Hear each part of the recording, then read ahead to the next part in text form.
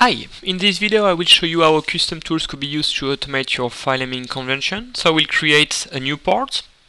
So custom tool uses a custom property value to generate a file name. So here we have the custom property called file name, which associates a project number so you can define your project and then we can see that the project is automatically associated with the file name and the sequence number was also automatically generated. If I select a different project then the file name is updated accordingly. So you can define your sequences, you can also generate the sequence uh, number manually, and the sequence number are shared between designer. So now we have the first part of the filename. and now I want to associate a description to the filename. For example, I would like to use the frame. Okay, so now we can see that we have the project number, part number, and the description. Then I click OK, and Custom Tool saves the documents automatically to the right folder, as I can associate a folder with a project. Of course, this could be done manually. So if I check the Save As, I can see that the file has been saved to the correct settings and to the right folder. Now let's create a drawing for that part.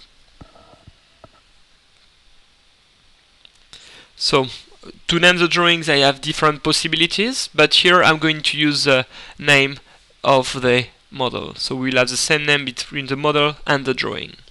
So I will save the drawing now. So it's as for the port it's saved automatically to the to the right folder.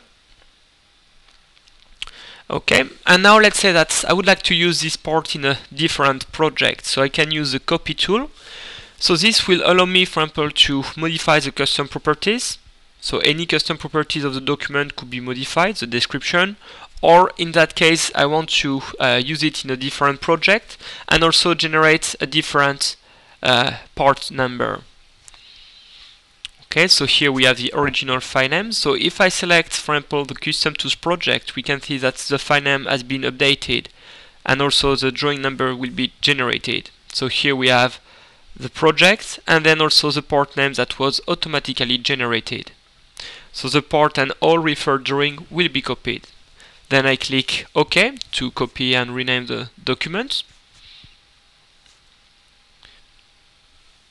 So now the document has been copied and I will open it. Another way that I could copy and rename a, doc document is through the custom properties. For example, if the property used to generate a file name is modified, then custom tool will automatically notice it. For example, I can generate, uh, select a project, for example here the ATRsoft. As we can see, the property uh, file name has been updated and also the port name has automatically been generated. So Custom Tools offers me to do a save as, save as copy, or different sort of action with the new new document. In addition, I will also be able to copy and rename existing drawings.